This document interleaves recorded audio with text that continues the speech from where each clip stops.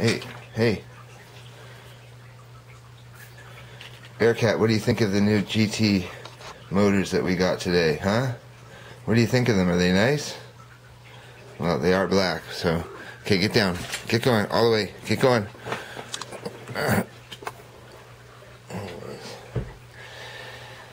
The cat. Look what came today. We got the Grand Turbo Emax. Uh, improved quality or better quality uh, Emax motors, the top of the line, I guess, or close to it. And here it is. This is uh, one of them I took out here. 74 grams without all the extra gear that comes with it, like the prop adapter that goes on this end. So this is about 74 grams. The RC timer is about 65 grams. Then when you put on the prop adapter and stuff, it gets up to about 70.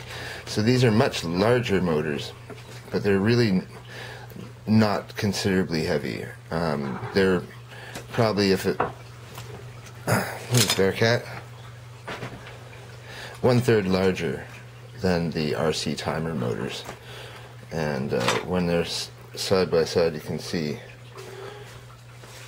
stator size is about one third more but they should make a huge difference. And uh, they sound really smooth. I ran this one up, and it sounded really, really good.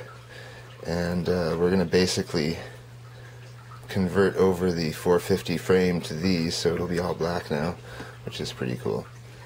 And uh, should have a lot more lifting power, and I'll be able to lift larger batteries now. That's the issue. Wasn't lifting this quad as it is. It was lifting it with the 5,000 mAh battery. It would get sluggish and I think that it just requires more power from the larger batteries to get to the motors and the motors to be able to lift that.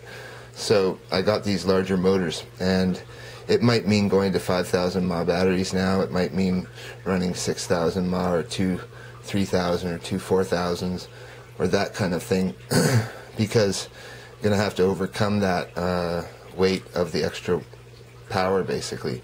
You get to a certain point with smaller batteries and uh, the weight of the battery just overcomes your motor's capability of lifting it. That's what I've discovered from trial and error, at least. And I've kept bumping up to larger and better motors each time. And these were about, I think, about 20 something dollars uh, a piece. So they do have Japanese bearings, uh, supposedly, and a larger shaft. So it will definitely be less of a bending risk to the motor.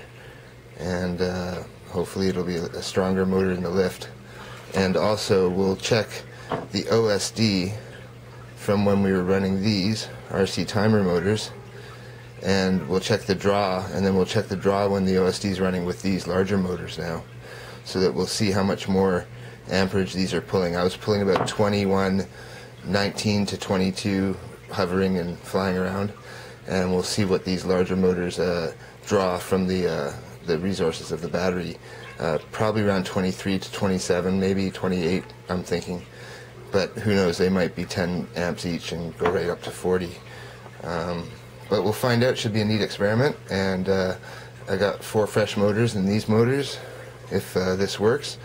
These motors will go into the carbon fiber frame because I just had the uh, Good Luck Buy motors in there that were all beat up and stuff and weren't working properly. So this is a fresh set that I know works so that if I put this on the carbon fiber quad now uh, with the other free flight board uh, that's been tested, uh, they'll work uh, and it will, I can eliminate one more thing that's causing the issue with that quadcopter uh, and it may be the plush 30s then.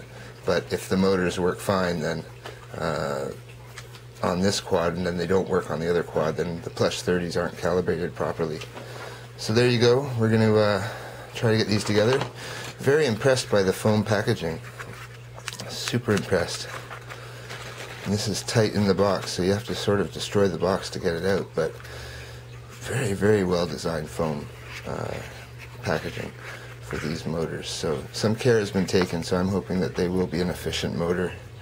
And uh, there you go, Grand Turbo Emax 2218 09 and a black cat wanting to fly the quadcopter.